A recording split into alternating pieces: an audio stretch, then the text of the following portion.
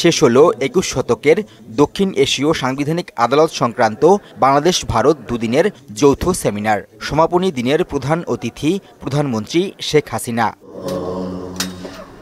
বিচার বিভাগীয় এ সম্মেলনে বক্তব্য রাখেন দু দেশের প্রধান বিচারপতি। বলেন, সংবিধানের প্রতি জনগণের আস্থা থাকা জরুরি। A collective journey. in which এটি একটি সম্মিলিত যাত্রা যেখানে আমাদের সংবিধান অর্থপূর্ণভাবে মানবিক অবস্থায় অবদান রাখে। আমাদের আদালত উদ্ভাবনের মাধ্যমে রূপান্তরমূলক অবদান রাখতে পারে।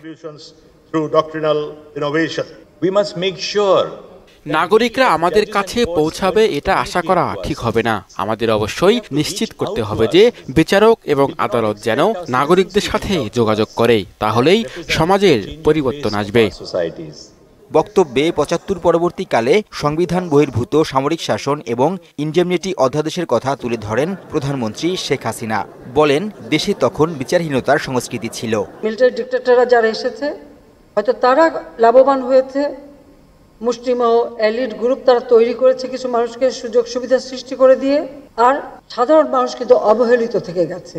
আইনের শাসন প্রতিষ্ঠায় আওয়ামী লীগ সরকারের পদক্ষেপ তুলে ধরে মানুষ এখন ন্যায় বিচার পাচ্ছে বলে মন্তব্য করেন তিনি। ছিয়ানব্বই সালে যখন সরকারে আসি তখন থেকে মানুষ যাতে ন্যায় বিচার পায় তার জন্য আমরা বিভিন্ন কর্মসূচি বাস্তবায়ন শুরু করি।